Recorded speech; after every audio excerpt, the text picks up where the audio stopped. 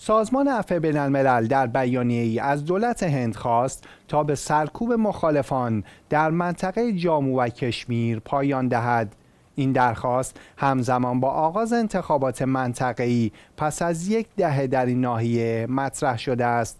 به گزارش همکارم در این زمینه توجه فرمایید. سازمان عفو بین الملل روز چهارشنبه انتشار بیانیه ای از مقامات هندی درخواست کرد که سرکوب های جاری علیه مخالفان در جامعه و کشمیر را متوقف کند. این بیانیه در حالی صادر شده که انتخابات منطقه‌ای جامعه و کشمیر پس از ده سال در حال برگزاری است. این انتخابات در سه مرحله برگزار خواهد شد و شمارش آرا در 8 اکتبر انجام می‌گیرد. عفو بین الملل ضمن هشدار درباره اقدامات سرکوبگرانه در این منطقه تاکید کرد که مردم جامعه و کشمیر باید بتوانند به طور آزادانه و بدون ترس از آزار و اذیت در تصمیم گیری های مربوط به آینده خود شرکت کنند.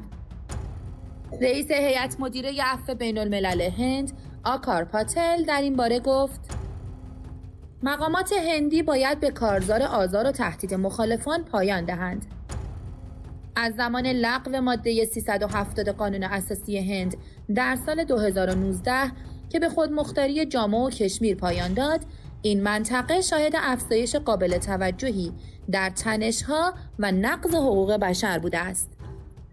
لغو این ماده که حقوق ویژه این منطقه را به رسمیت می شناخت منجر به نارامی های جدید و افزایش خشونت شد. عفو بین الملل همچنین به استفاده از قوانین سختگیرانه ای همچون قانون نیروهای مسلح اشاره کرده که به نیروهای امنیتی اجازه می دهد با مسئولیت کامل هر گونه اقدامات سرکوبگرانه را انجام دهند.